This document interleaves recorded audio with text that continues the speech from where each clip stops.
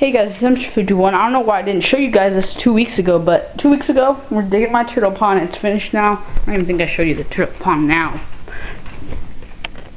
Oh god, there's all kinds of food. But, um, yeah, he hasn't eaten. He didn't eat some of his lettuce, so it's like algae on the lettuce. But, um, anyway, um, when we were digging, we found three alligator, I mean, we thought they were alligator lizard eggs, but the only thing was that made me suspicious is that alligator lizards lay about 13 eggs. There was only three there, and we accidentally cut into one. But anyway, about two weeks later, so and we saw that they're fertile because from the thing. But two weeks later, we got a baby western fence lizard,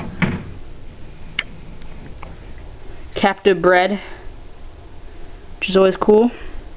I'm going to probably help this guy hatch out and then move him into this cage take the background out so he can't climb but yeah pretty cool. Um, I'm not sure if these are the first ever captive bred western fence lizards or not but you know that's super cool.